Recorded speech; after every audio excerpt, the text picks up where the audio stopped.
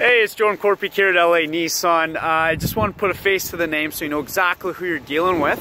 I also thought I'd surprise you with a quick personalized video walk around of the 2015 Nissan Rogue all-wheel drive. Um, so without further ado, here we go. LED daytime running lights. Uh, we always run a block heater cord through our vehicles, Central, living in Alberta. Um, underneath the engine bay here, you're looking at the 2.5 liter inline four with the CVT transmission. Uh, this one of Japan's best, uh, most endurable engines. Um, great thing about Nissan products, easy access to all the service areas underneath here. Very, very easy for you to do your own maintenance. It's easy for you to do it. Even easier for mechanic to do it, which means less time on labor, more money saved. But you get five years, 100,000 kilometer powertrain warranty. That's everything underneath the engine base. You got lots of warranty left.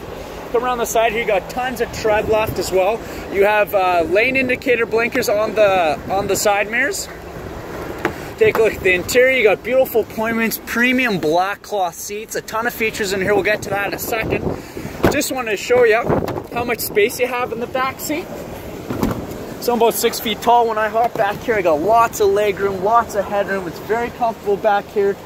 Um, your backseat passengers do have cup holders right here so they're not spilling all over your back seat. There's good reason one in three SUVs in North America are the Nissan Rogue. Um, you can adjust the seat, they roll all the way up. You can also fold them down for 60-40 split for more cargo space. Pop open the trunk here for you. Whew. So you're looking at the divide and hide system. You can configure these in 18 different ways, which is pretty awesome. Underneath here, you'll have your spare tire and jack inside the vehicle rather than underneath, keeping it dry, not getting dirty in case you ever do need it. All right, back into the vehicle so I don't turn into a popsicle. So down here, you're looking at two different driving modes. Eco mode to get that class-leading fuel efficiency, um, a combined fuel economy around 8 liters, 8.3 liters per 100 kilometers. Best-in-class fuel efficiency for an all-wheel drive vehicle, that is insane.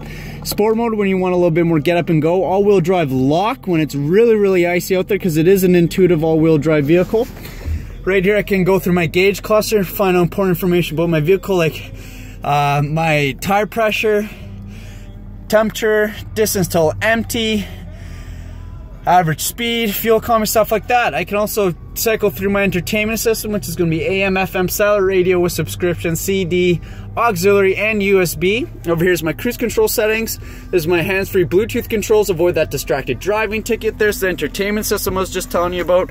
Climate controls, USB to charge my phone, auxiliary, 12-volt socket.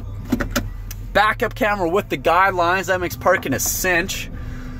So yeah, it's an awesome vehicle. Um, I love these things. Uh, I recommend them to all my friends who are in the market for an all-wheel drive SUV. If you have any questions or concerns, um, give me a shout, 780-769-0060. Just ask for Jordan. Hope you enjoyed the video. Take care.